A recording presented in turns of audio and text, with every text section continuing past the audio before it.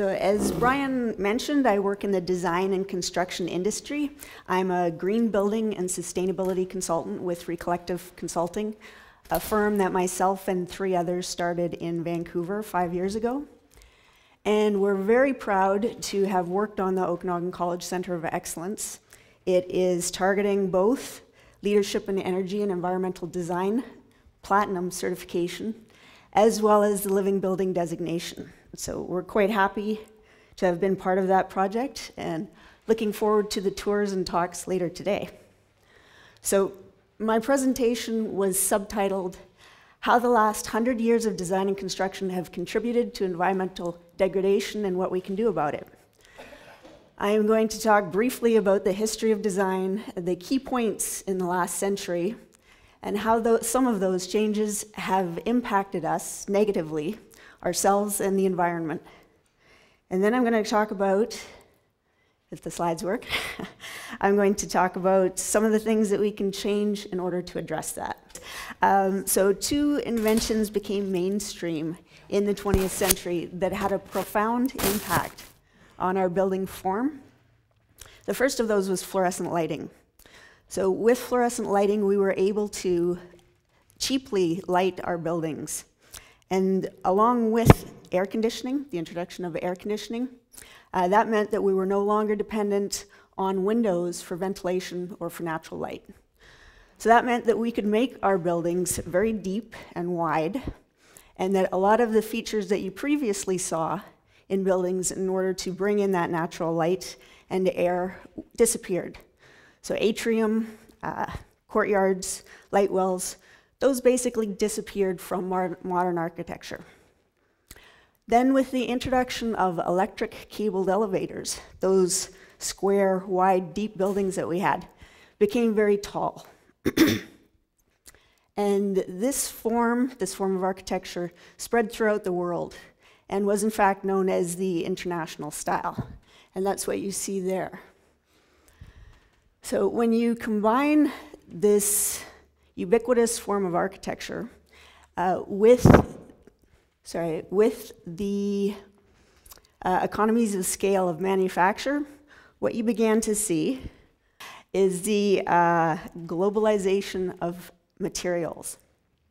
So we began to see manufacturing concentrated in certain areas around the world. As an example, if you walk into any office building in Canada, chances are that the carpet that you're walking on came from Georgia. If you've been in a movie theater that was constructed in the last 20 years, the seating that you're sitting on was manufactured by one North American manufacturer. So we have started to source all of our, our materials from the same place, regardless of where we're located in the world. so as a result of that, we see these concentrations of manufacturing across North America. At the same time, we began to introduce chemicals into uh, our materials that we were using. So, asbestos being one of those. Chemicals that we knew were carcinogenic. So, asbestos has been banned in Canada, but it is used in a lot of other places in the world.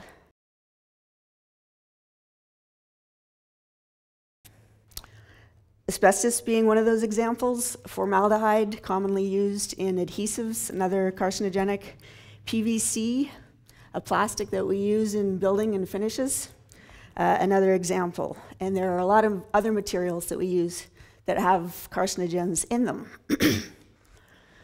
so, as a result of some of these phenomena, what we saw in buildings uh, were buildings that didn't respond to their context or their environment.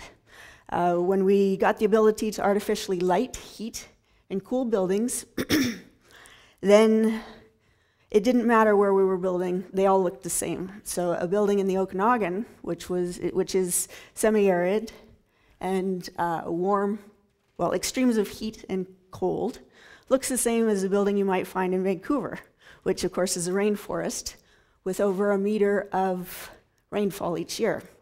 And that shouldn't be the case. We saw people becoming disassociated with their environment. We expect it to be the same temperature in a building all throughout the year. and we expect to be able to wear t shirts in winter. So we have this disassociation with uh, the environment around us. And we also saw, thank you, we also saw the materials becoming ubiquitous, as I've mentioned.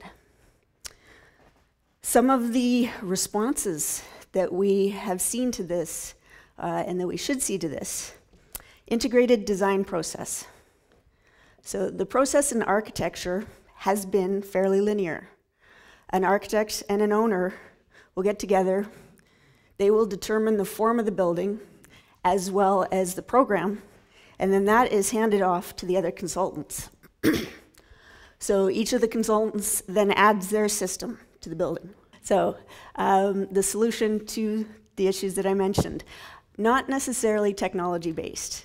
I don't think that there is any new technology that will solve our issues integrated design process, that end of linear and uh, having all stakeholders involved in the design from the beginning. This includes building operators, occupants, and the community. And it's extremely important to involve these individuals in the design. Um, as an example, Beddington uh, Zero Energy Development, or BedZED in the UK, designed, as the name implies, to be a zero energy project. But what they found was that the same suite, identical suites, with the same number of occupants, would have up to 50% difference in the amount of energy that they used. so clearly, the occupant has a lot to do with the energy use of a building and should be a stakeholder in the design process. Systems thinking and integrated design go hand in hand. The building and the site are one integrated system in the larger system of the community. We have to reverse looking at the building as a collection of separate systems, which is what happened when we started artificially lighting, heating, and cooling. Reversing the order, uh, it is common practice to design and then source the materials for the design. We need to look at what is readily available and then design according to that material.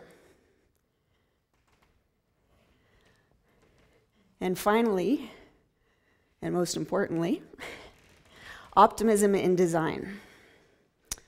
We have to approach design with optimism. We have to be designing to optimize the entire system. Uh, if you, and you hear a lot about compromise between cost, aesthetics, uh, and the environment. If you intend to compromise, chances are that that's what you'll be left with, is a compromise. So we have to change that so that we're designing to optimize the entire system. And we will see a lot of examples, examples today from Okanagan College. So I will use one from Mount Royal College in Calgary, Alberta. This is a classroom there, and I've pointed out with a little arrow on the left hand side a light shelf.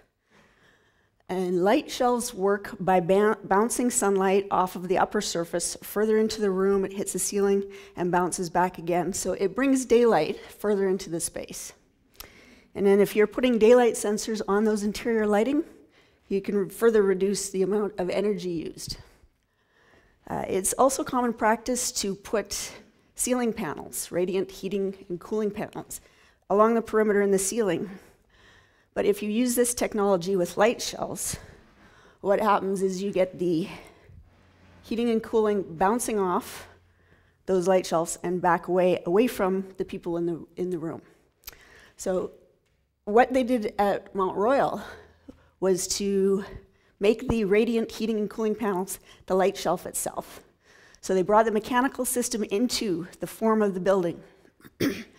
this brought it closer to the objects in the room that it was intended to heat and cool. It eliminated the need for a separate architectural light shelf and also the cost of that, and the occupants were more comfortable. So on the materials side, I will use an example from the college. Uh, the pine beetle kill wood. Uh, the design team looked at that local resource and they designed the building around the products that were available from it. And that was one of the great successes of this, this building. Uh, but Robert will be talking more about that and others today, so I won't carry on about it. So, uh, as Brian mentioned, I had an epiphany in sustainability mid career. I was working for Workers' Compensation Board, now WorkSafe BC, and I joined, left there to join an architectural firm. and one of my first projects there was for a client who wanted their office to be a showcase of sustainable, non toxic material. As I researched that, uh, I became aware that there was a connection between the statistics that I had seen at the Workers' Compensation Board and my choices as a designer. Few people know this, but more construction workers die from workplace related disease than from accidents. So that means that the toxins that they're exposed to on the worksite kill more people than falls, electrocutions, falling objects, all other accidents combined. So when I made that connection, I realized that there's a different path forward. And the call to action here is not to accept the status quo. In order to realize a sustainable future, if you recognize that something is wrong, you have to act to change it. We need to imagine a better future and move towards it. Thank you.